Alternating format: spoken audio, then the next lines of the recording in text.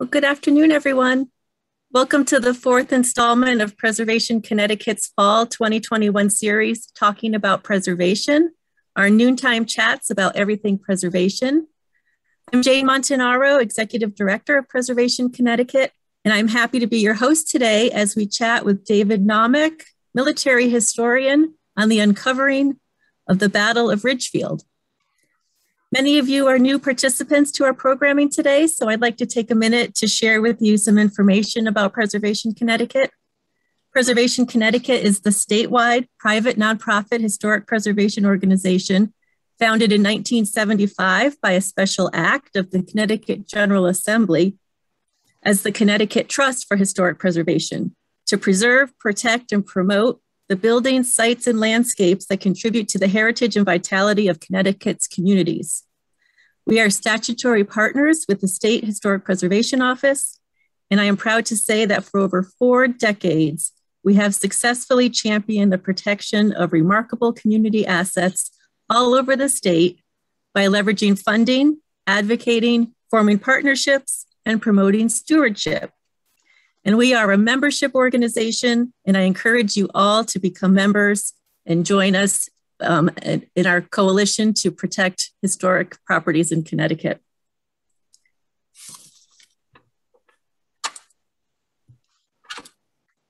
Our office is on Whitney Avenue in Hamden, Connecticut. Listed on the National Register of Historic Places, Shown here, it's the Eli Whitney boarding house built in 1827 to house workers for Eli Whitney's gun factory. And it has served as Preservation Connecticut's headquarters since 1989.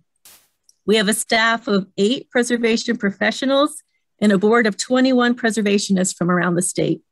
Our staff listed here are always available to assist with inquiries.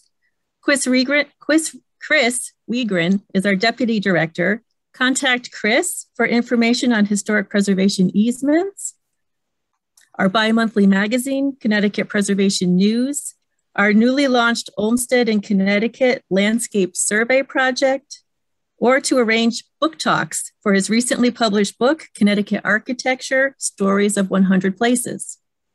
Renee Tribert, Making Places and Preservation Services Manager, Please contact Renee for information on redevelopment of historic industrial mill sites and tax credit applications. Jordan Sorensen is our Development and Special Projects Manager. Jordan manages our communications and outreach to members through social media and email, receives and monitors demolition notices from municipalities, and prepares historic tax credit applications and nominations to state and national register of historic places. Kristen Hopewood, Development Assistant, manages all of the inquiries that come through our website, provides member services, arranges special events, and is the editor of our Historic Properties Exchange, a free listing of threatened historic properties.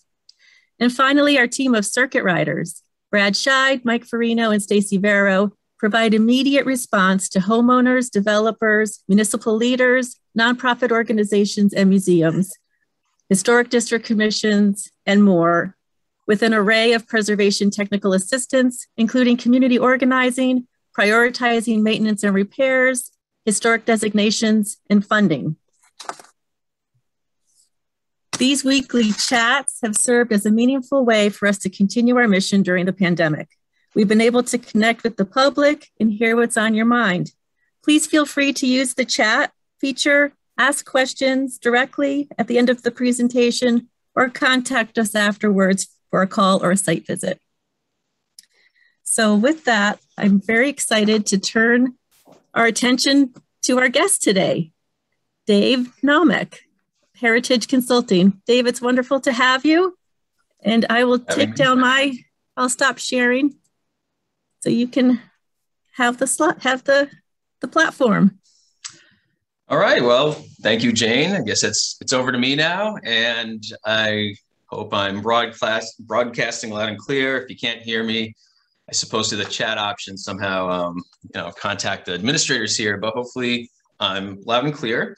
So I'd like to thank uh, Preservation Connecticut for the opportunity um, to chat and share this exciting project that the Ridgefield Historical Society has been engaged in for some time, but at least since the beginning of this year, 2021, uh, Heritage Consultants, uh, myself, along with Dr. Kevin McBride from the University of Connecticut, and David George uh, is one of the lead investigators as well from Heritage Consultants. We've been working on what's uh, known as a National Park Service American Battlefield Protection Program grant.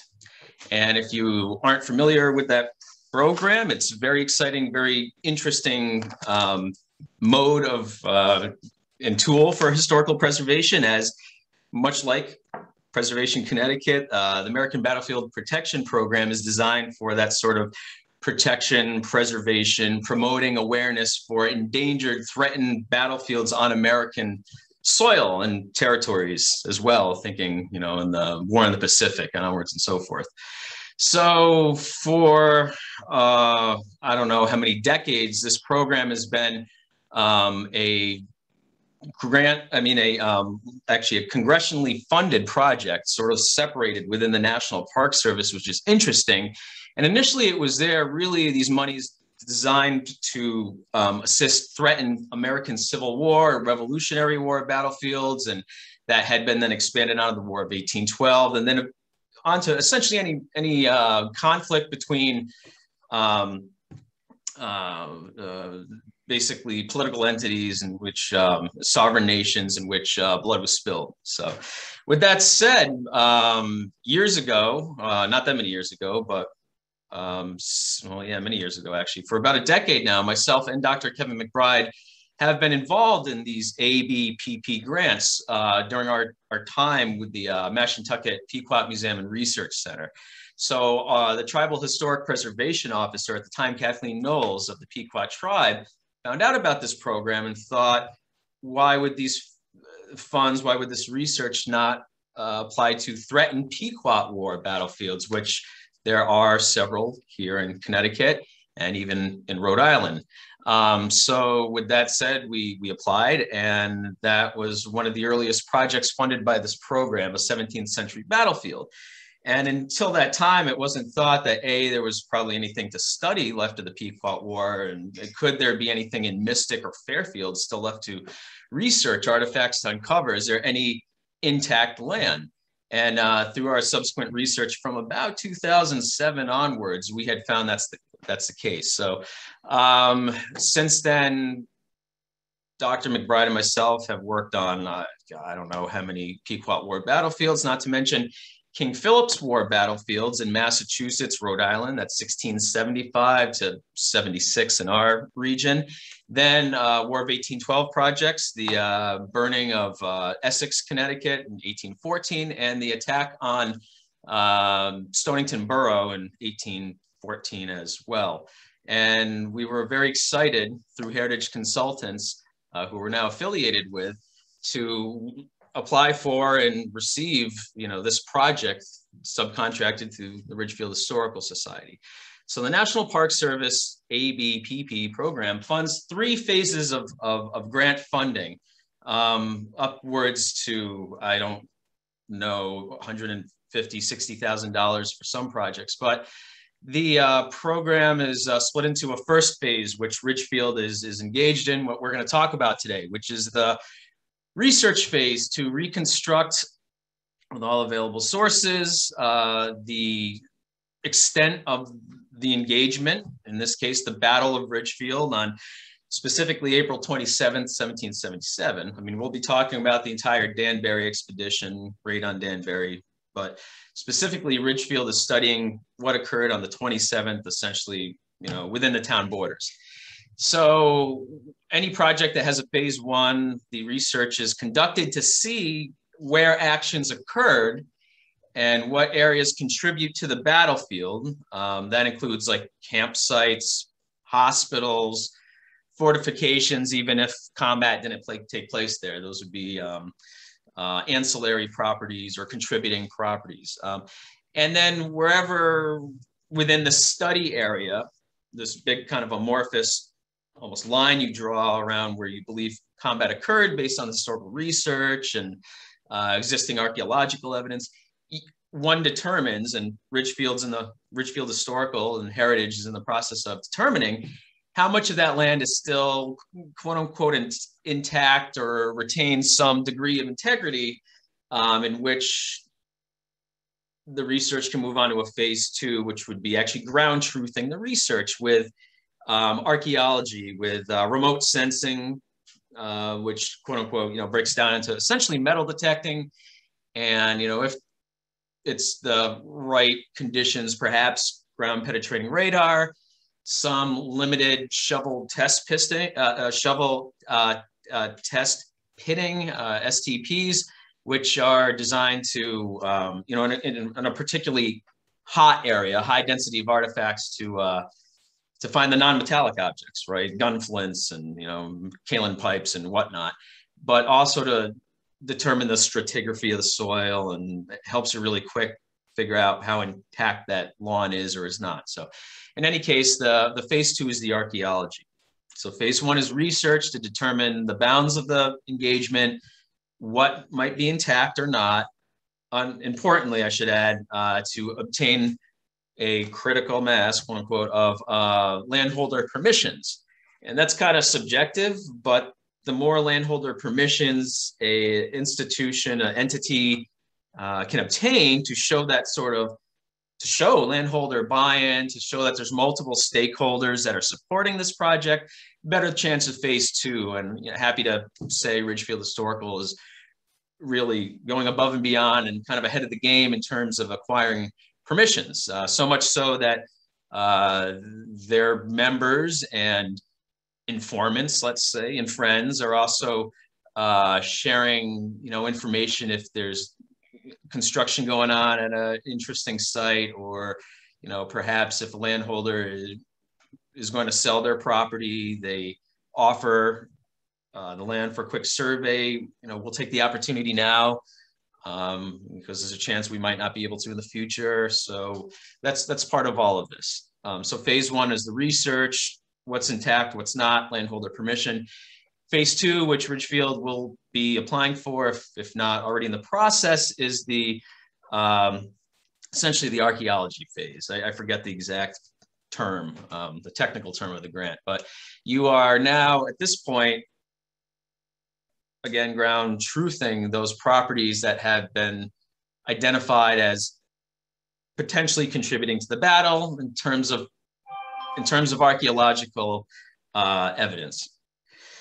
So what the Park Service really wants out of a phase two is, yes, some evidence in terms of battle-related objects. We'll talk more about what that consists of, and I'll, i should have some images to share with you. Um, so yeah, in terms of battle-related objects and uh, figuring out sort of me, uh, uh, metes and bounds, let's say, of the engagement, like the extent of combat. It's it's well known in Ridgefield, and if among some of you, I I see here today a lot of familiar friends and faces. So thanks for joining. Those of you that know the battle or Western Connecticut, it's, often broken down into three main engagements. You drive through town today, whether it's, I guess, depending on what direction you come through the center of town or south along North Salem Road, you'll, you'll see those historical markers that have been up some, for some time. So um, uh, we are essentially in a phase two going to be studying uh, you know the entire battle beyond even those three major engagements. So this, and then uh, essentially, to, without belaboring things and rattling on too much, the phase three, uh, which I'm currently working with Fairfield Museum and Historical Center down south, um, and I have worked with in the past, and Kevin as well at Old Saybrook and other sites. Phase three is an educational component, which is really interesting and great um, that the Park Service offers this. Uh, at the end of the phase two, not only do they want you, again, through artifacts to determine if those properties contribute to the battle, where the battle spreads to beyond, in our case, the three major, three major engagements, but they are also hoping that there will be properties added, uh, submitted to the National Historical Register, not due to their, well, in our case, perhaps due to their architecture, if that building is standing at the time of the battle, number of those buildings already on the register. Or if one's lawn has cannonballs, musket balls, evidence of combat, and you know can also um, contribute to this overall battlefield landscape, that too would qualify, in this case, the property for um, inclusion on the National Historical Register. Um, and one way they do this is through this sort of um, uh, sort of in, it's a connected sort of battlefield district, let's say, in, in which the contributing properties are um, connected in this long and sometimes amorphous um, amoeba looking sort of district. But it's again based on what properties contribute, what don't, what landholders you know would want to participate in the national register or not kind of stuff um, the immediately before getting into the phase three some of the questions we get immediately if we do have landholders here who, who do want to participate um, you know is you know is there any restrictions put on one's property um, as a result of this sort of research or participation? No. If objects are found on your property that are battle related a couple musket balls buttons buckles as a condition of you know uh, participating and as written out on the landholder permissions the park service expects those objects to become property of the park service which is different than a, a typical practice here in connecticut. Most new england states landholder is the owner of objects found on their property generally. Um, in this case it will go turn over the park service uh, under the care of um, in this case, Ridgefield Historical Society, the Park Service doesn't want to see 100 different individual parcels of artifacts lost in space or sold or, or forgotten. They want them curated together for the integrity of that collection and you know to tell the story and future research. And they would like it kept locally and the you know the institution has to meet a bunch of standards which ridgefield historical does okay so um, anything not battle related you know, whatever um, other early American tools, artifacts, buttons, you know, matchbox cars, coins, whatever. It stays with the landholder. Unfortunately, that's a lot of junk too, nails and things like that. If taken, um, you know, and recovered, generally almost anything that is taken and recovered for further research that becomes part of this collection, um, whether it's deemed in the future not to be battle related. It still has an artifact ID. Um, uh, so onwards and so forth. There's a lot to that. The phase three again is interesting in terms of the educational component of the grant. Um, it, the Park Service will fund the development of historical market markers and signage, but not the installation of. So right now, Fairfield Historical is working on creating signage for the final battle of the Pequot War in 1637, the Battle of Mutacomic Swamp or Pequot Swamp. Say, uh, Saybrook already has six historical markers installed around town, and you can find more info on their website. They've turned it into a walking tour, a bicycle tour. There's maps you can download. It's they've really gotten a lot of historical tourism mileage out of that project. It can also be used for exhibit development again, but not fabrication. Um, some publications, I think Old Saybrook published a book, and there's a bunch of different options. So it's a really fascinating program that has been continually supported by and funded by Congress, you know, even through the ups and downs and recession and, you know, senators, you know, crying poverty for decades. The program's always been supported. So it's it's interesting, and I'm I'm glad there's you know one of several Revolutionary War sites in Connecticut now being investigated. So so here we are after that long you know drawn out background about the program. I'll talk a little bit about research we've conducted since the beginning of 2021, and there has, in addition to great local histories in Ridgefield and earlier 20th century materials, late you know 19th century materials. There's been several really recent years great uh, books published on the subject. I think I see one of our authors here today, and or was signed up at least. And um, uh, we are in our consortium, you know, working with people that have studied this. So the different contemporary books already that, that have been put out on the subject um, study the overall Danbury expedition in different degrees with different focuses, um, all contributing to this larger, you know, knowledge we have of, of, of the overall battle, Ridgefield Historical Society's um, purpose of the grant again is focused specifically in town, uh, which is enough to keep us busy because there's been quite a bit of combat that's taken place in Ridgefield during this battle, even more so um, than you know has been detailed in years past. So for us, at Heritage Consultants, starting right off with any of these projects, it's kind of multi-tiered. We have some individuals working on gathering maps, both historical, contemporary, GIS maps as well, uh, global you know, information systems, digital components in which we can overlay the modern landscape and uh, know, tax maps, property boundaries with historical maps and and um, you know just seeing change over time. I mean, clearly that's important, and an outcome Ridgefield wants is us to also reconstruct the landscape as best as possible as it existed back then, and we're having some good success in terms of houses, lots, fences versus walls, bridges that may have been there at the time, discontinued roads, things like that. Uh, we have um, Mr. Uh, William Keegan, Bill Keegan, many of you probably familiar with Bill, working on that. And um, it's great having, you know, so many different members of this team to you know, work on this project.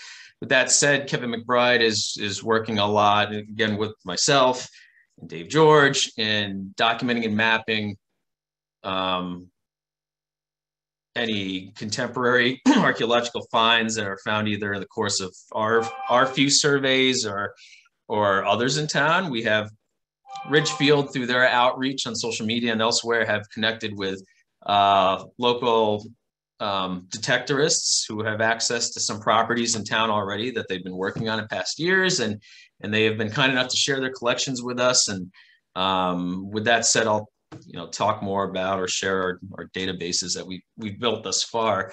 Um, we are Kevin and myself trying to gather as much primary source documentation as possible. Luckily, and surprisingly, um, and I only say surprisingly because we've done this project for like a decade now, working with multiple historical societies. But Ridgefield, as they should be proud of, is the first one that had quite a bit of very relevant materials in their archives, thanks in part to these authors that have done research in the past. Um, uh, large in part also uh, Damian Douglas and his uh, Bridge Not Taken um, book back in, I think, what about 2002, first time that came out. Uh, he's since passed. His his wife has, uh, widow has shared his, his papers, which contain, you know, let's say maybe a quarter of our research already is not an exaggeration, and put us on, you know, proper direction, saved us a lot of time. Um, Ridgefield's also been very engaged in reaching out to the community, as mentioned, to see if anyone has any finds they remember over the year, from cannonballs to but buttons to muskets, and a surprising amount of material has uh, materialized, which again, um, Kevin is keeping track of. I'll show you some initial findings. Um, not to mention, you know, in addition to looking at, you know, the state records, federal records, local town records, uh, very importantly, federal pension records by Revolutionary War veterans. Um, I might as well just discuss, you know, some of our different sources that have proved fruitful at this time. The pensions have been quite useful as um, all of the authors from you know Douglas to um, Stephen Darley, Call to Arms, and of course uh, Keith Marshall Jones, uh, Farmers Against the Crown. Uh, they've relied quite a bit on pension records. Have been very interested in reconstructing rosters, the extent of the individual soldiers there which is a lifetime of work. And I'm really, you know, we're all heritage really indebted to the research that's been done already. Like, why reinvent the wheel? We are trying to, of course, in addition to collecting all the primary stuff, scouring the secondaries to see what, you know, great materials these, these, you know, authors have uncovered in the past. Ridgefield has been working on um, and, and, Heritage working with Ridgefield, developing volunteer and intern projects, let's say, for the many enthusiastic people in town and in the society that want to help out. And uh, in lieu of doing, you know, research right in the archives, we've been able to access uh, digitally, at least these pension records that are so useful. So a number of volunteers have been using names listed in know, Mr. Darley's book and you know Mr. Jones's book and elsewhere, getting have been accumulating digital copies of all of any existing uh, pensions from these many soldiers listed in these other volumes. They are also the researchers doing this, the volunteers have a genealogical interest and background, so they are able to read through the documents. We've put together a database of important info they should pull out. And, and uh, although at first I, I believe the volunteers were under the impression they weren't finding too much because it's like a sentence here, a couple sentences there. I mean, you start compiling these tidbits of information and it, it adds quite a bit of detail in the grand schemes of this, this narrative we're trying to build. So there's been some great surprises there um, from descriptions of combat to officers to placement of regiments that really helped us kind of reconstruct where units are probably located. I think since many of these authors, uh, the most recent research has been done, there's been more and more digitization. It happens every week, month, day, really. And surprisingly, quite a bit of British newspapers are now accessible uh, that you know, I've happened to dive into. And I found a great bit of research over about a month or two in British papers that I not really seen um, cited elsewhere. It's, uh, it's always unfortunate to get super excited and then find out some, you know, like Darley or Jones have already found the stuff. But in case of these papers, it seems relatively new. Uh, what was interesting in the newspapers, there was some uh, different accounts of officers and men that were there, some elaboration on events, some elaboration on wounded officers, and not caring so much about the enlisted men, but some of these, these British newspapers are specifically talking about officers that are wounded and, and linking them to a specific brigade, uh, whether it's, uh, there's, there's two key British officers, Agnew and Erskine, that are in charge of most of the armed forces, even though General uh, Tryon is kind of you know, politically in charge of the overall force. And it's pretty clear through these, these records that distinctly, it's kind of commonsensical. Both these officers sort of split the overall force into these two brigades with equal number of regiments so they could operate independently. And that also helped add more detail to the various engagements and you know placement of troops and things like that. And also the newspapers there were uh, several critical accounts british accounts critical of of uh, the british operations in, in the americas i think overall but really described surprisingly the danbury raid and fighting in ridgefield as as a Lexington and Concord, which you know accomplished very little but incurred you know, significant casualties. And and casualties casualty fig, casualty figures are ranging all over the place in the newspapers as well as the officers' reports. So you know it's kind of it's always interesting to try to make heads or tails of any of this, but any uh, also a, a, number of these British newspapers. Um, uh, in addition to describing the account as Lexington and Concord, give additional details about fighting actually, you know, happening as soon as the troops left Danbury, British that is, and onto their march in Ridgefield and describing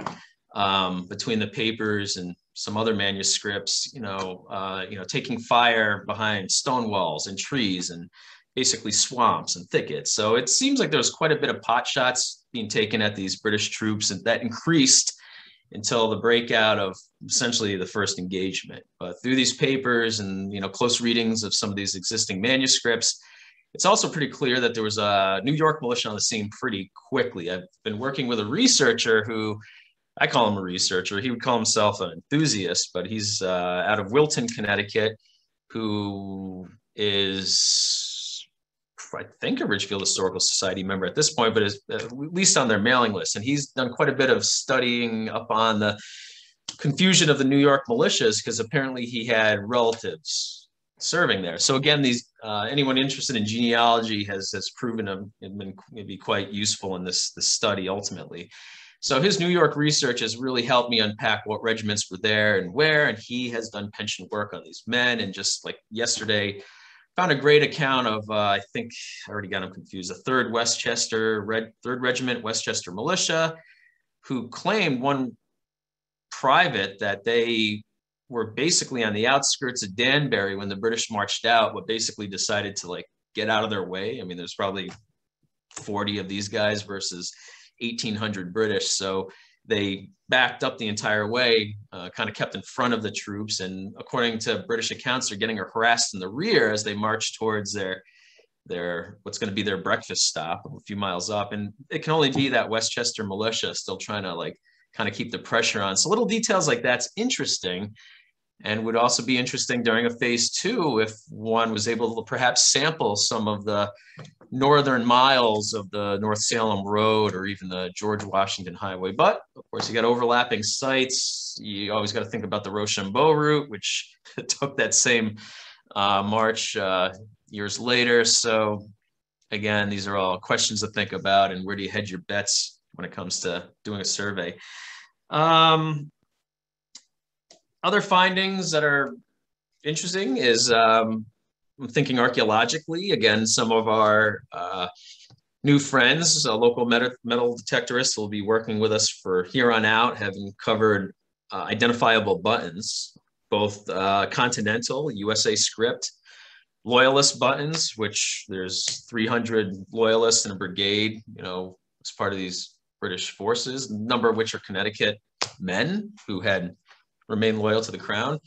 And um, also, uh, what was of an artillery button, which more than likely is a, a, state of Connecticut artillery button. And there's been a lot of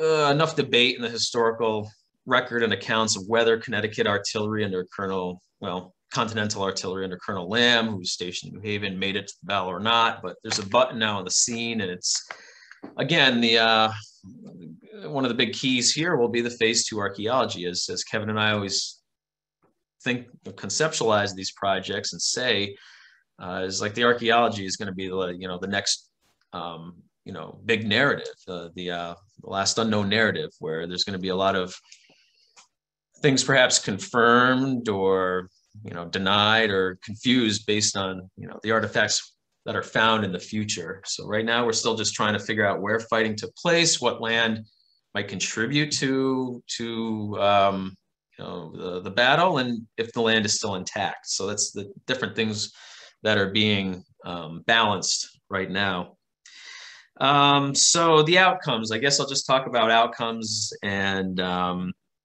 i could discuss maybe a few more observations or just sort of open it up to questions without retelling the entire history of the battle of ridgefield but uh, again the outcomes shortly uh, as I continue writing today and the rest of the week is uh, a what's known as a, a, technical report, which needs to be submitted showing, uh, demonstrating to the Park Service are the methodologies employed, um, you know, the, the sources used, and a battle narrative, a new written narrative, heavily academic and cited um, in as much minutia as possible, detailing you know, as much as we know about this battle, with of course historical context. So there's been a good amount of time involved having discussed, you know, the, you know, what you know, led to this invasion in 1777 and uh, preparations by the British and the landing of troops and the march up and you know authors you know you know ranging from all three of the authors have been very helpful in different degrees so we haven't had to spend as much time with the context as, as the most important part for us, the battle itself. So have worked through the minutia of the battle as much as we can, you know, include, which would help us gain some insight into where actions occurred, to what extent, and um, also thinking about again if that land is intact. That's separate from the narrative, but the narrative helps you know, uh, you know, make that case. And then finally, this technical report, the core of it's this battlefield narrative, but you have the usual necessary chapters again of, you know, why this is taking place and, you know, methods that'll be employed, what's been done in the past, making the case of, of to what extent the this battlefield is threatened. I mean, that's key to the Park Service. Is if the whole battlefield is in you know open space and preserved to begin with there's and there's no threat to it what's the point of funding a, a project you know what happened there okay you can learn more it won't qualify. But if there is you know um, threats of residential or commercial construction or you know road construction whatever anything like that which is the case in ridgefield. I mean there's been a lot of building up over the past few years and the lifetime of many residents in town. So that's that's enough to to um to make the case but any of you that have know ridgefield i mean there's there's a lot of intact ground out there there's a lot of uh, large lawns there's wooded areas there's open space along much of this battlefield route, with the exception of, let's say, the center of town. With that said, I think one of the, I'll call it a finding, but I think anybody that's been studying this or writing about it has always realized that even though there's these three engagements, um, which, long story short, after the British um, are able to march into Danbury, burn Danbury over the night of the 26th and the 27th, they start marching out west along the present day George Washington Highway towards uh, um, to then go south to Ridgefield. The Americans who have been massing and trying to get all their troops together at first thought Fairfield was going to be the target. And when they realized the British had marched beyond them, uh, General Silliman and others are had been sort of um, gave chase, let's say. Eventually, rendezvousing at Redding and then Bethel and decide in, in, a very during a very rainy evening in a forced march decided it wasn't a, a, great idea to try to force Danbury you know that night. They wouldn't be saving anything and probably most of their weaponry you know didn't work. It was just soaked. So American forces continued to gather around Danbury and quite a bit to the north to the south to the east now even apparently to the west with these New Yorkers so even though the British are surrounded I mean they're not outgunned and they still have the upper hand. The question is like, are they going to go back south? The Americans at first were banking on that. I should say General Benedict Arnold is on the scene as well. General Wooster is the overall commander. Um, you got 4th Brigade Militia with Silliman. There's a bunch of different commanders. Wooster makes the call to split his forces, and the plan from the beginning always is to get a blocking force in the front of the British wherever they go, and Wooster's division would hammer them in the rear, maybe get them in the sort of hammer and anvil kind of pincer movement. That, that was the plan. Um, it became evident in the morning the British were not going back south, they were going west. So now the fear was they're going to march all the way to Peekskill. The British had made a feint there a few days earlier with ships and troops to kind of throw the Americans off guard prior to this invasion. Upon reaching Ridgebury and heading south, the Americans then realized that no, uh, the British are going back to the Sound that changed plans completely. So Arnold and Silliman's division now goes west through Redding towards Ridgebury, uh, Ridgefield. Uh, apparently getting to the center of town about an hour or so before the British arrive, and they're able to start fortifying the, the entrance of town uh, right at the beginning of Main Street, north end of it. Other militia from other parts of the state are showing up, and from Westchester County, the second Westchester are arriving down in Ridgefield. There's armed civilians that aren't in the militia formally. There's we have a couple accounts in the state records of people seeking um, compensation or uh, you know for medical bills afterwards that they just you know grabbed their firearms and you know fell in with every, anybody they could. Um, at Ridgefield, people are showing up without ammunition. So um, interesting local history. The first selectmen, um, select men, there's several of them, I guess, you know, basically open up the, the local magazine to the troops to just, you know, start divvying out shot to everybody. So that, that was an important move. You know, luckily Ridgefield had some ammo and the, the selectmen, you know, opened it up to everybody that was there. Now, in the meantime, um, the British are taking fire, like as soon as they're on George Washington Road, and they're getting a little jumpy, and they split some of their troops up on side roads, as you know, to to make sure nobody's going to attack their flanks. There's a local tradition um, from a couple sources that when the British arrive in Ridge Berry and near the church and decide to head south, there's a existing colonial house there. Kind of, you look, you'll spot it. You'd think it's a little newer, actually. Um, but the British uh, apparently took a few pistol shots at somebody in a window, which is interesting to us now because if they're taking fire the whole way from houses, outbuildings, swamps, and walls and fences, um, it's probably feasible that they're jumpy and they see somebody come to the window, they're they're going to start taking shots at that person and shoot first, ask questions later. Pistols also indicate likely an officer or mounted troops like the dragoons. That gives us some insight, these little stories. And that same um, oral tradition states that the British dragoons or mounted troops were engaging some people closer to or taking shots at people on the New York border, not far away. It's like a mile and a half or two at most, basically. So that could be that third, uh, third Westchester at this point.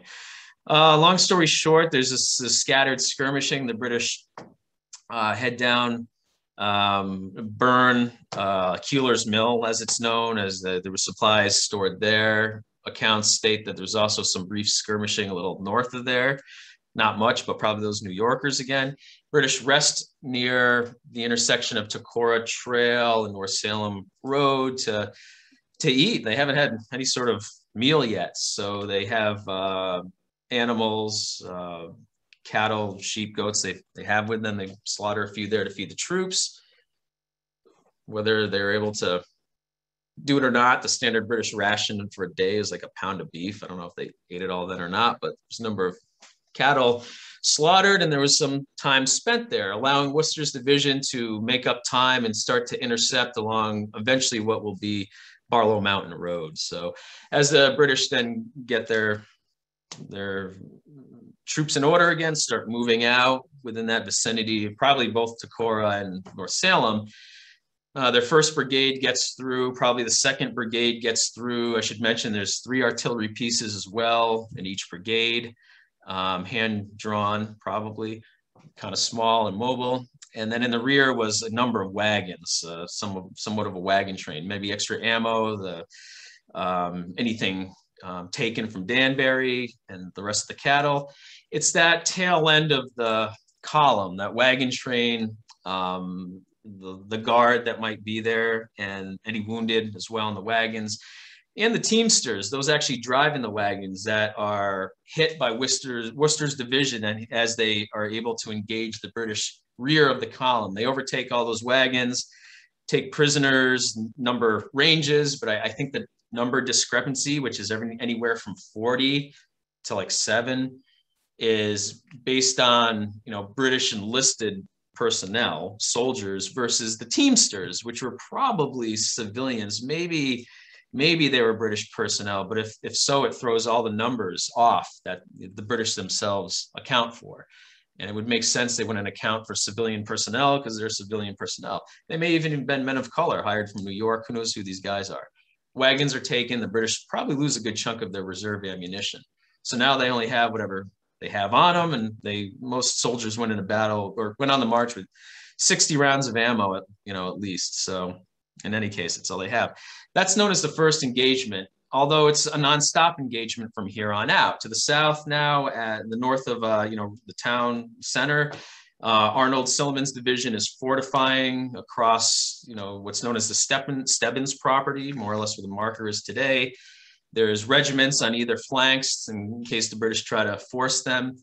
Wooster's men keep hammering the British till the British are able to make a stand, um, bringing up their artillery, bringing up a rear guard that can actually not necessarily entrench, but they kind of have a higher ground and some remnants of really brief American fortifications. Maybe they were used. So now this American division is coming up to Amer uh, British regulars and artillery that's waiting for them and they just run into like a hail of canister shot, small arms fire, and take a lot of fire, take a lot of hits. Um, there are a number of pensions at this time of soldiers being wounded, shot, and it is Wooster that, as he's mounting a second horse, because his first one, at least his first one's been shot under him, as he's mounting his horse, he's shot um, allegedly by that loyalist uh, corps, which are acting as flankers in support of this infantry artillery unit. So those American troops are taking a lot of fire and they they break and fall back.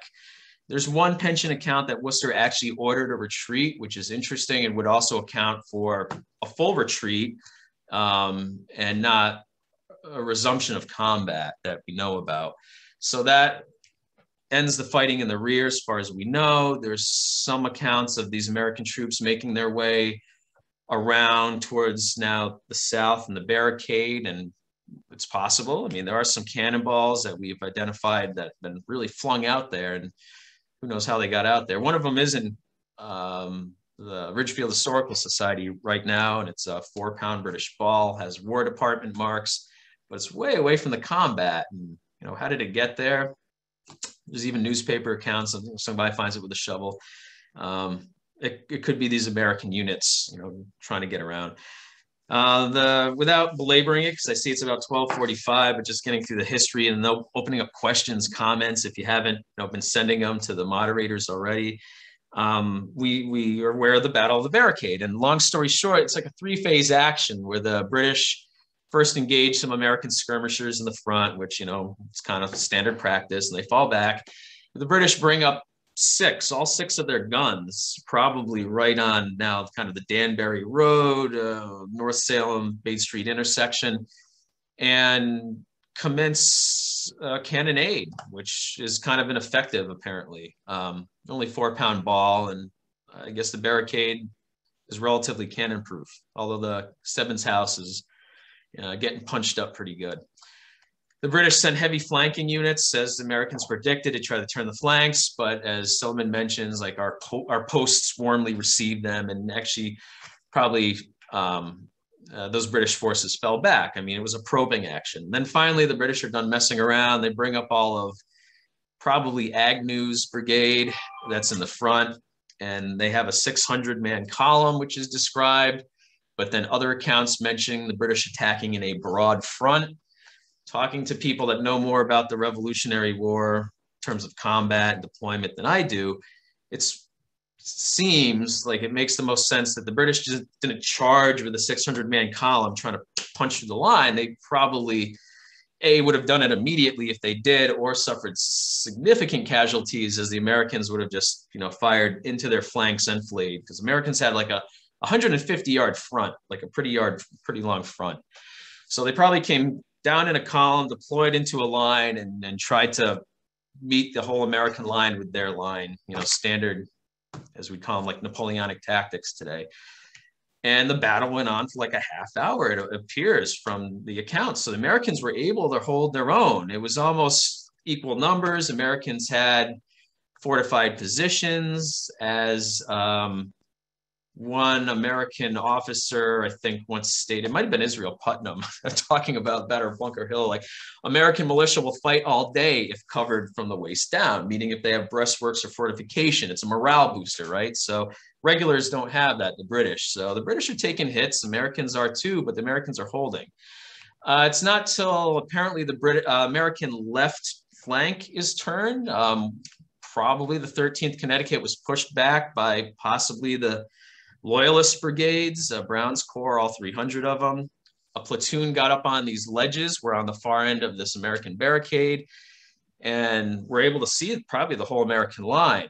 And as most of them opened up on the American line, now shooting them not only from the front but the side, at least a dozen guys took aim at a prominent American officer, Benedict Arnold, that was within like 20 yards, 25 yards of them, opened up on him. His horse was hit something like you know, nine times and he was not, but pinned. One of these soldiers rushed to probably finish him off or take this high value target. And Arnold let him get close enough so he could make sure he hit him with his pistol, and he did. And apparently got on another horse and probably tried to keep rallying American troops. But the American line was now broken. As the flank was turned on the left, American troops are now peeling back from the Stebbins house, although not at a run. Apparently, they're keeping some order. There's interesting pensions to that account, uh, to that effect. But as Americans are now pushed to the to the east towards this orchard, pretty close to Ridgefield Historical Society sits today. Uh, one of the colonels of the Fourth Connecticut, I have my map in front of me, was was wounded and killed. Colonel Gould. Um, the ninth Connecticut on the far east was the left to, last to fall back, according to pensions as well. So it's pretty clear that's how the most of the line broke, almost in the direction of Ridgefield Historical and maybe East Ridge, if that's if that's what that ridge is. Um, but now, as I'm muddling my way through, and as I finish the story, and as I'm trying to finish our report, and as historians have alluded to, and as artifacts have alluded to, there's a lot of fighting in town. All one only has to look at the Keeler Tavern to see a four pound ball like embedded in a post still. But thanks to research by Ridgefield Historical, there's like another dozen to 15 cannonballs, uh, historical accounts, newspaper accounts, uh, contemporary you know, memory of my father dug up a cannonball here. Um, there's a lot of fighting throughout town. I have some maps I could show, you know, later at some point. If, um, but in any case, we're trying to figure out to what extent this fighting took place. And one of our metal detectorists who was working on his family property prior to Keeler, maybe even 100 yards before Keeler, has like 20 musket balls there. So, I mean, um, I think additional archaeology will clearly find these other actions that took place. And the British themselves, if you know, rereading the accounts, mention the Americans held the village for a while. Then they gathered on some heights near the town. We try to surround them, but they got away. And that's probably High Ridge, closer to New York.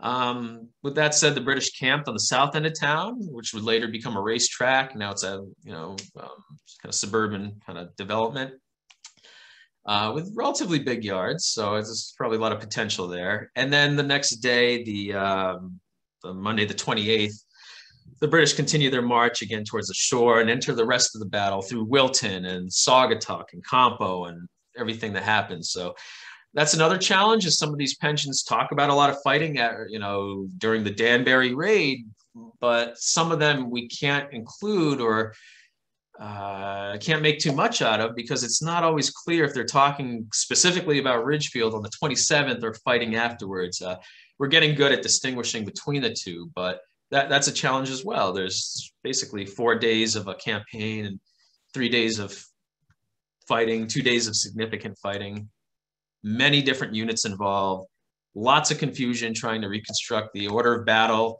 at least on the American side. Um, but each one of these, you know, little counts helps build a bigger narrative. So with that said, um, yeah, we're in the home stretch of the, the, the technical report. Ridgefield will be seeing that soon. They'll be applying for phase two. And that's that's this uh, Revolutionary War American uh, Battlefield Protection Program project we're working on. Um, a different sort of preservation, um, but again, raising awareness to these, these threatened sites here in Connecticut and these very important national events, you know, that have taken place in our state, but have been overshadowed by, yeah, you know, New York, Boston, other areas. So we'll we'll we'll work on that. Um, I probably talked too much. I'm turning it back over to Jane and you know, Stacy, and we'll just you know go from, go from there. well, thanks so much, Dave. That was really fascinating. Um, really fascinating the the three phases of the project, the methodology of what you're you know embarking on and of course your storytelling of the battles it's really really remarkable and we're really um, so honored that we get like a an early glimpse of everything that you've been able to discover and as you're pulling everything together this is a really special treat for us. And you know we appreciate all of the work that the ridgefield historical society has been doing. And it sounds like they're doing a lot of community engagement too which is really terrific. Um, really well received i think from the community. Um, but I'd love to open it up to all of you out in the audience. If you'd like to ask a question or a comment.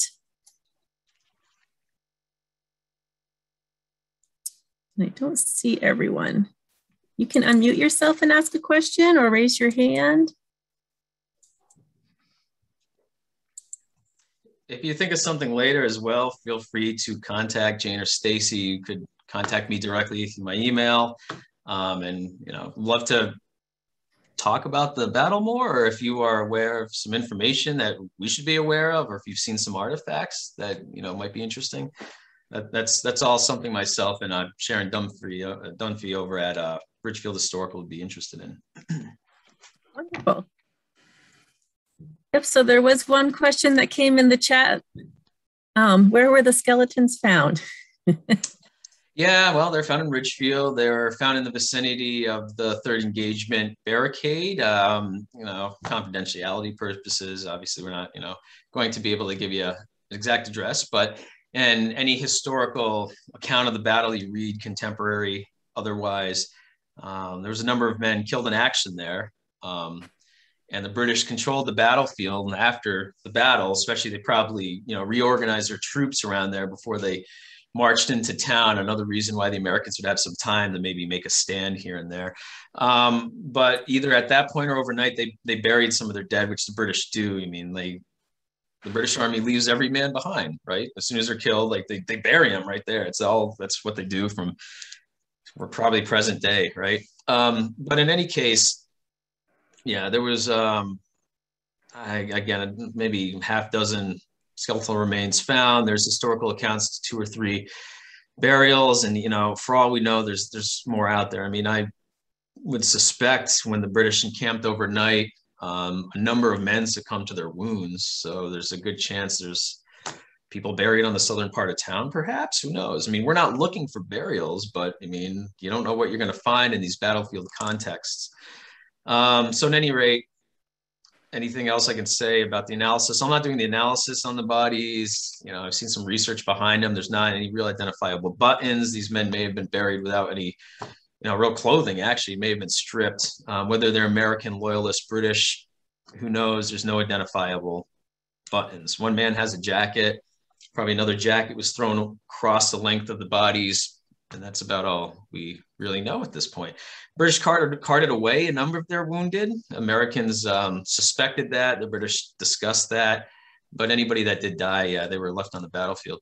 Americans even made claims that they found um, remains, bones in the charred remains of the houses burnt in town. There was like a half dozen houses burnt in Ridgefield and barns and outbuildings.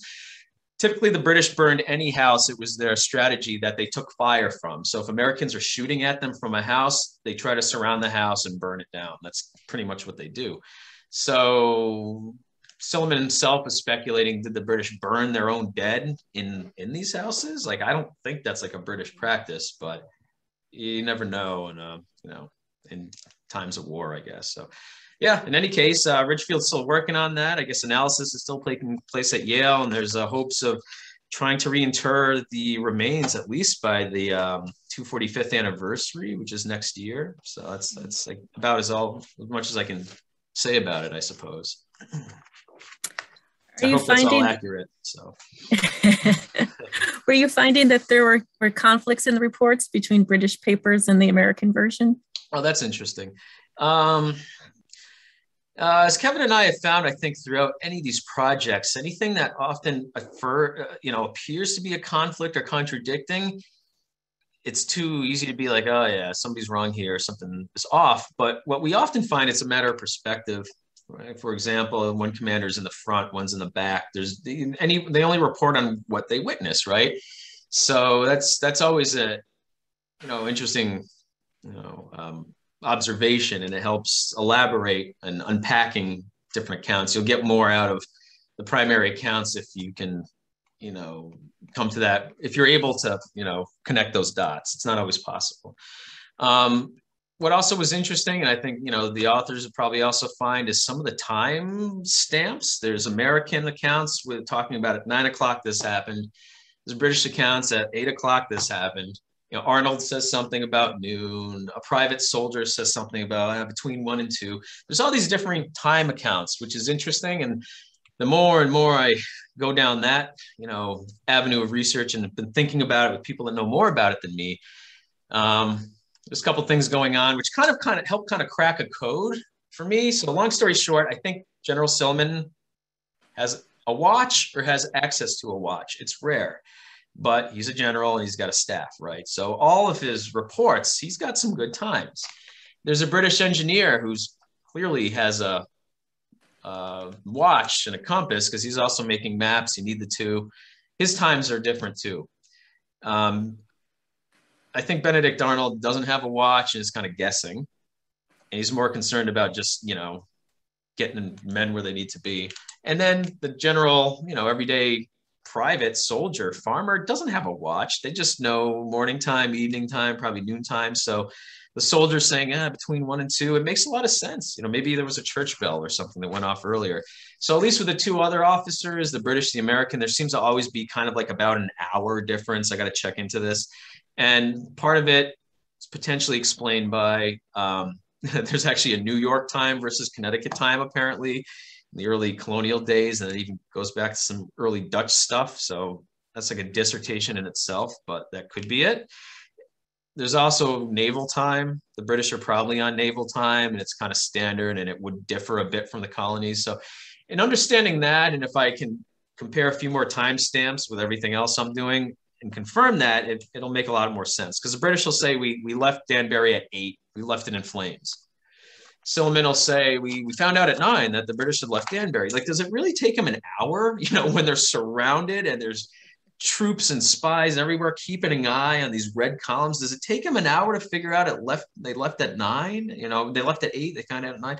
I think it's the time variance and it, also helps tighten up the third engagement where there's a lot of descriptions of time but they don't quite coincide. So it's those kind of like weird questions that you don't realize till you try to like break it down hour by hour so that's interesting i found yeah so many fascinating elements to all of this well, we're certainly certainly looking forward to your reports and upcoming uh, public programming that you may do. So we definitely want to stay in the loop on on everything evolving with this project. And I appreciate you so much taking the time today to to share all of this with us. Well, thank you. And I, would say the best way to do that is to get on the Ridgefield Historical Society website, get on their mailing list. There's going to be a lot going on between now and the anniversary next year, including a, a, battle reenactment, which would be interesting. So, so thanks again for the opportunity. And uh, if you need to get a hold of me, I'm, I'm sure Jane or uh, Stacy can facilitate that. So thank you. Wonderful. We'll do that. Thank you so much, everyone.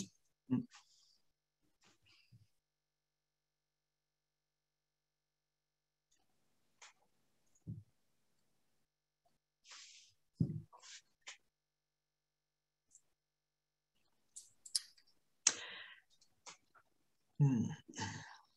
So I'll stick around till I guess you know, it's us. And if you need anything else from me, otherwise I'll probably get going and back to work in a minute.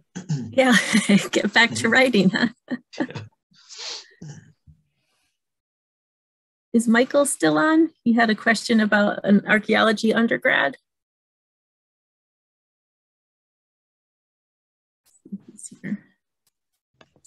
Hi, I, I had a question about metal detectors and how much exploration people are doing using metal detectors. Metal detecting is the only way to complete these projects. It's uh, it's been hard to at early on in 2008 9 when we started these projects to find a way to integrate metal detecting technology to that standard kind of grid you do for archaeology and shovel test pits and units and things like that. Many archaeologists are just really shy away from metal detecting because it really is rocket science. It takes a lot to learn. It's hard just to train up a staff member. Um, and also, if you don't understand or have a conception of how you tie it into your traditional archaeology, that's scary as well. Long story short, we relied heavily on local enthusiasts that had proved themselves to be good detectorists and good trustworthy people. There's a group in Connecticut called YTC, Yankee Territory Coin Shooters. The state police uses them. A lot of people use them for a lot of different work. So we contacted them and we found some great uh, detectorists who, who focus really good in um, relic hunting in the woods and things like that. So, yeah. long story short, we hired them and we helped all together build a methodology that when we uh, find an artifact, we flag it, we uncover it, very small hole, not like a huge unit or anything. Uh, figure out what it is, and if it's related, then we we take all our measurements and data and stuff like that, GPS it, and that's how easy it is. That GPS coordinate then can then be tied to your conceptual grid um, that traditional archaeology relies on. If you need to open a unit or a shovel test pit, you have your grid as well, so you can plop a unit with GPS and space, pull out your meter tape, and it's it's a really great quick system. Um, with that said, um, metal detectors are, depending on skill and model and everything, are usually effective to about a foot in the ground. But believe it or not, most of our battlefield objects, even from King Philip's War, Pequot War, 17th century, most of these artifacts, most bullets are only found like we're talking centimeters, like about, you know, six to 12 centimeters, a few inches. So they don't move a lot unless there's plow zones or trees, you know, moving things and earth moving metal detecting has been done as a hobby by people since after World War II, really. Um, so a lot of areas have been detected, but what we have found is not everything is, is removed or, or, or recovered. I mean, even even our team going to the same Pequot War battlefield, we still go to the same battlefield sites. I swear that we've been we have access to that we've been going to for five, six, eight years. We still find artifacts because you just don't ever get it all. There's too many factors. Park Service doesn't want you to find anything, everything, I should say, because if you find everything, you don't have a battlefield to protect anymore, right? So you're yeah. supposed to get enough to make the point that something happened here. We try to get as much as we can, but we always know that we, we clearly didn't get it all. But in any case, right. um, we, we, we rely exclusively on metal detectorists. There's no point of laying out a grid doing test pits. You would never find your your site.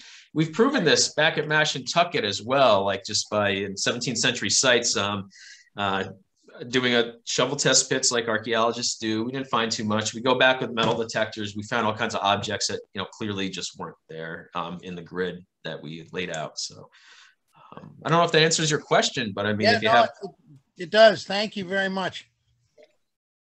It was a great, great talk. Thanks for that. Thanks. Yeah, you'll see us in action maybe in like a year from now. So wonderful. Super. Well, thanks so much again. Thank you very much. Um, have a good rest of your day. Too. All right. Bye, everybody. Care. Thank Bye you. Now. Bye. Bye now.